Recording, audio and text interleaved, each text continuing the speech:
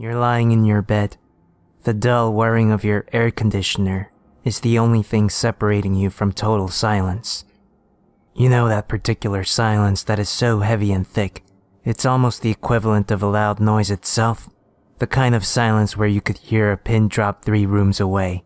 The kind of silence that fills your ears with the sound of your own heartbeat as your ear presses against your pillow.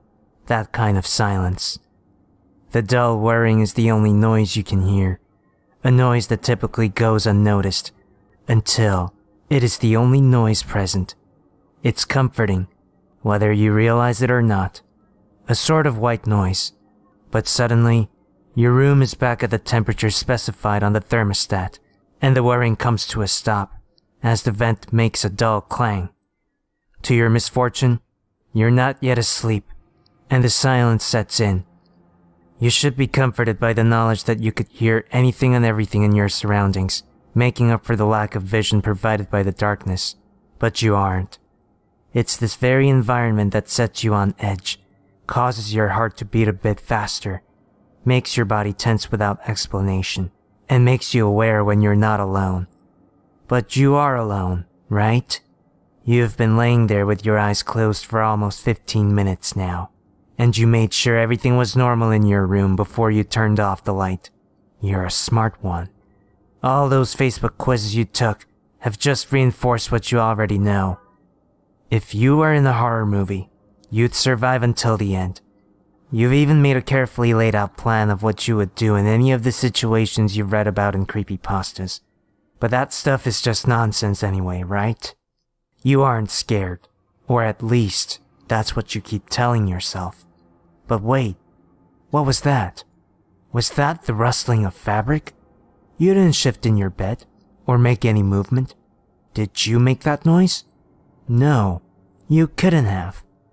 You're paralyzed in your bed, stiff with an unease that was not present until these very moments. You must have imagined it. You must have. You roll over to face the wall, out of sight, out of mind. If there's something in the room with you, it'll just have to accept that you're much too tired to deal with it at the moment. You're still stricken with uneasiness, as you hear rustling again. This time, the rustling is accompanied by a soft thud on the ground. Your heart seizes in your chest. Did you really just hear that? No, no. You've just gotten yourself worked up about nothing. You really should stop playing horror survival games so late at night. It's messing with your brain. You're a rational person, so stop acting so childish and just fall asleep already. You close your eyes tightly, silently hoping sleep would whisk you away soon. You're practically begging for the safety of the non-existent dream world of your own creation. You're running away in a sense, but there's nothing there, right? You're just tired. I know, I know. As your eyes are clenched tightly shut, you become aware that no matter how much you want to, you can no longer move your arms and legs. Come on now. Are you really letting this get to you? What are you, 12 years old? Suck it up and fall asleep already. Now, more tense than ever, that unnerving sound echoes across the room again. The rustling of fabric, followed by a soft thud on the ground. Unwittingly, you're holding your breath now, eyes shut as tightly as possible, you have the childish urge to pull the blanket over your head.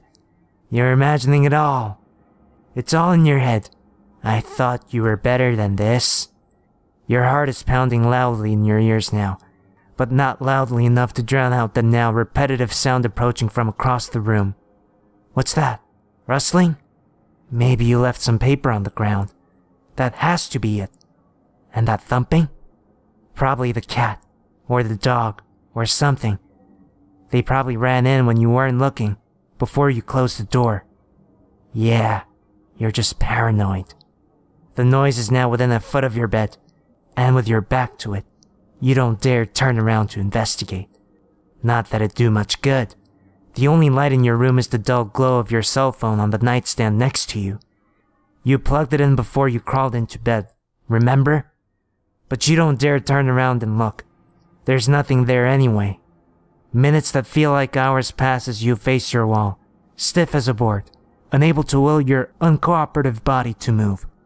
You haven't heard the noises in a while now, not since it reached the edge of your bed. You know, there's nothing there, you silly. It's this silence. It's messing with you. You really should have turned on some music or something before you went to bed. Suddenly, a familiar clang echoes through the room, followed by that familiar whirring. You exhale deeply, your body relaxing as you're flooded with relief. Thank God that's over. Now, you can finally sleep in peace. That silence was really getting to you. You roll over and open your eyes to check the time on your lit cell phone. It must have been at least an hour since you. You are greeted face to face with his ear to ear grin. Dimly lit sockets where eyes once resided stare intently at you. Ah, I see you're still awake.